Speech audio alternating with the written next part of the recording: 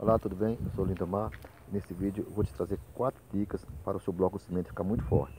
Primeiro, você usa é, o agregado um pouco grosso, como pó de pedra, o pedrisco na areia.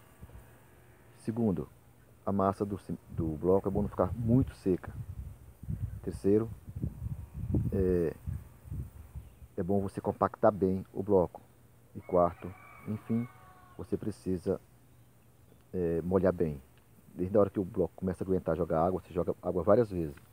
Normalmente a gente joga água pouco e fica bom o bloco, mas se você molhar ele com mais frequência, o bloco fica ainda melhor, tá bom?